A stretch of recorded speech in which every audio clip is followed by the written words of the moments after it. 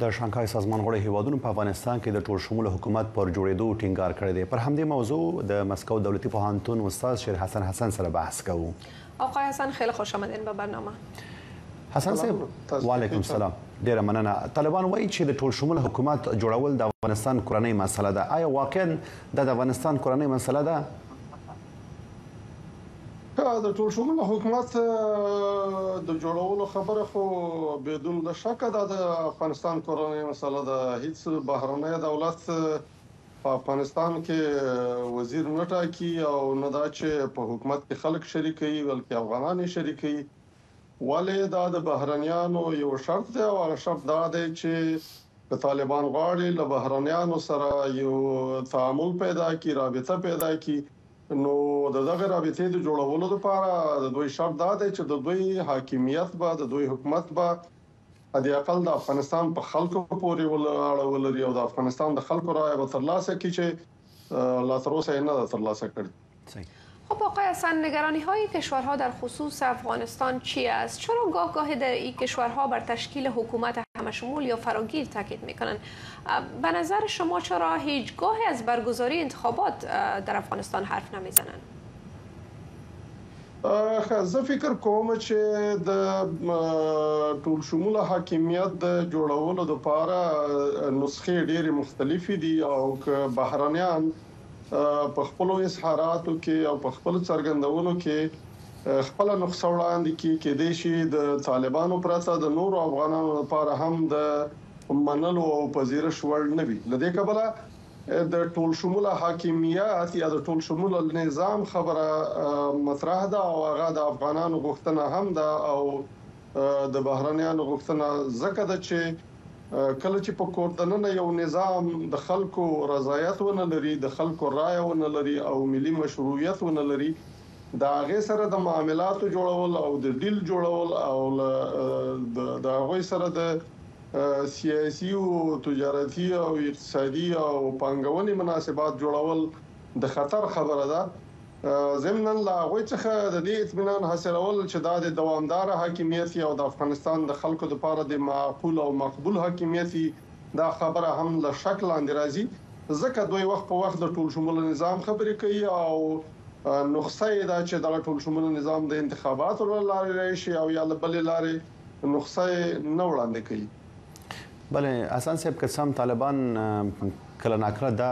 ګنګسي رد کړی دي چې په اصطلاح د دوی کابینه یا حکومت د ټول شموله ونه وسی خو راځو درې کال کېږي چې د طالبانو حکومت سرپرست دی او په کابینه کې تقریبا ټول خپل خلک دي ولې تر اوسه په دې نه دي بریالي شوي چې د سرپرست حکومت دوره پای ته ورسوي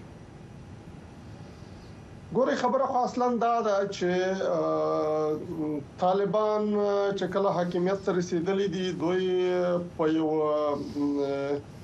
زور باندې او د سلا په په زور باندې د وسلو په زور باندې د جنگ لاره حاکمیت ته رسیدلې دي او اوس په افغانستان باندې دوی هغه سي حاکمیت لري لکه څنګه چې دوی غواړي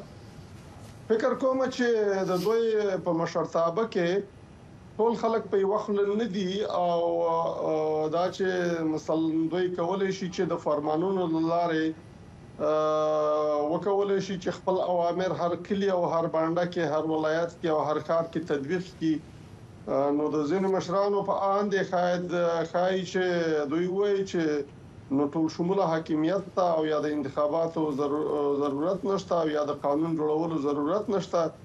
ځکه چې د دوئ مشر ملا هیبت الله په شریعت باندې پوهیږي او د شریعت په رڼا کې فرمانونه ورکوي دا د دوئ برداشت دی او په دغه برداشت کې البته دوئ لا تر اوسه پورې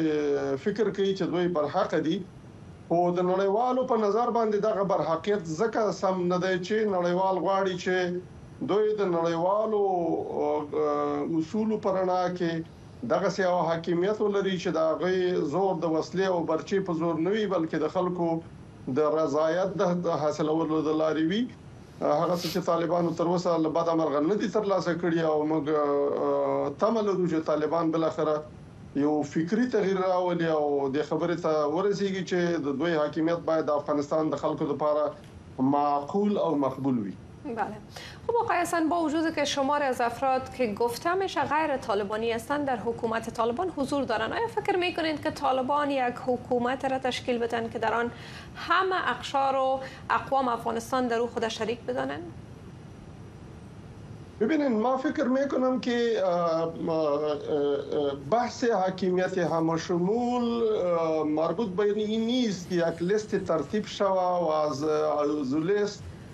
رضایت بعضی از افراد اقوام مختلف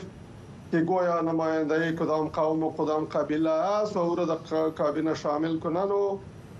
معنایش ایست که ای یک حاکمیت همه شمول شد نه تعریف حاکمیت همه شمول قانون محوری است. و مبنی بر عدالت است آن چیزی که عدالت مفهومش است مفهوم عدالت این است که کار به اهل کار و حق به حقدار سپرده شود اگر کابینه طالبا بدون طالبا هم به رضایت طالبا از هر ولایت یک کسی و از هر قوم یک کسی شود باز هم همه شمول از خاطر این است که حقوق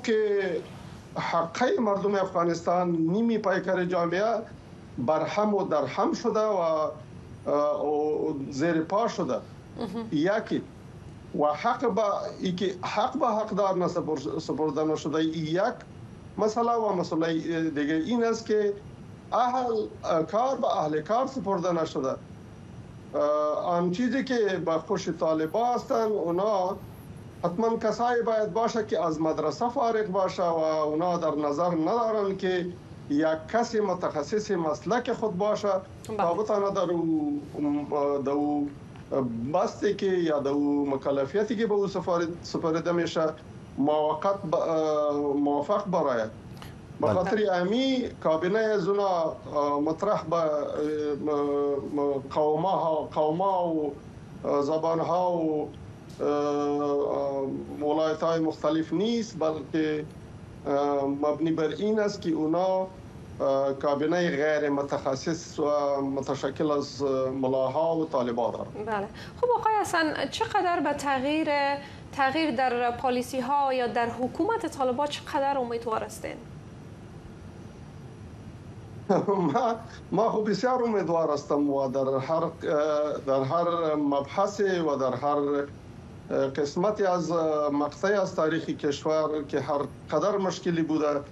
امیدوار به ای بودم که این تاریکی ها به زود به روشنی تبدیل میشه مگر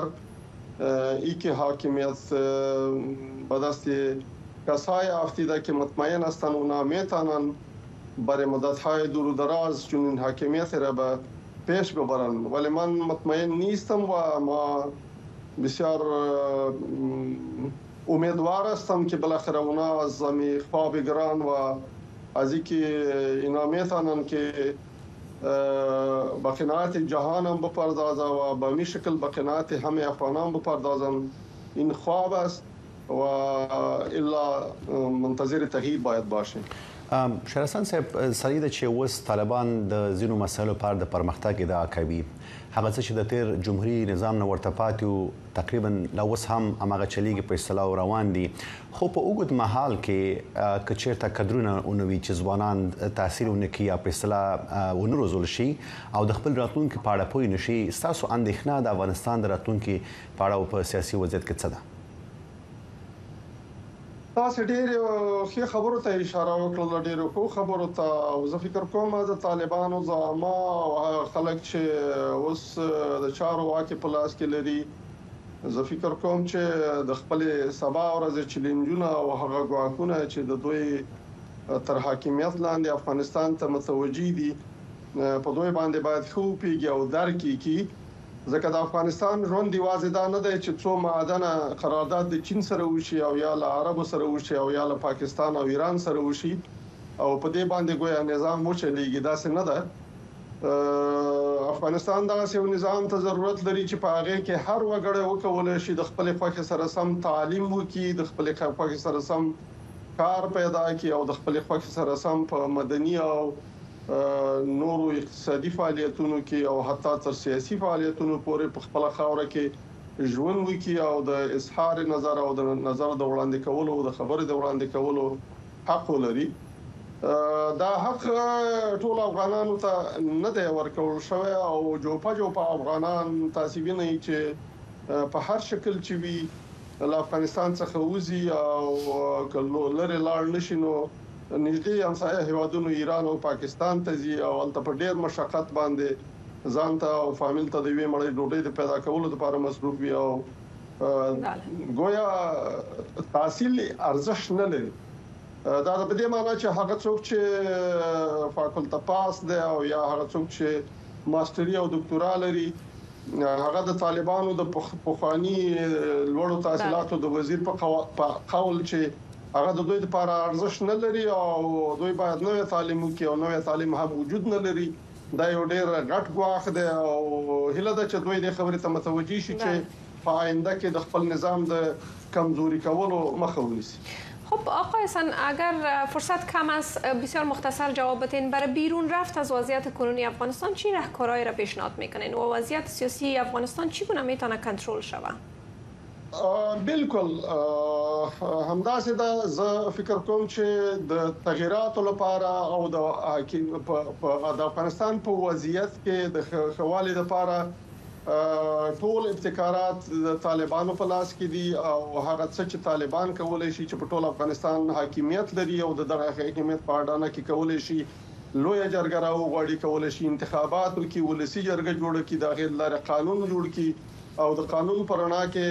هم دغه خپل نظام ته مشروعیت ورکړي. زه فکر کوم دا تر ټولو سمه لار ده نسبت دې ته چې دوی په دوحه کې غونډه جوړوي او یا ځي نورو هېوادونو ته زاري کوي چې دوی په رسمیت وپېژني. که همدا اوس ټوله دنیا دوی په رسمیت باندې وپیژني بیا هم دوی کمزوري دي او دوی نشي کولای د افغانستان ستونزې حل کړي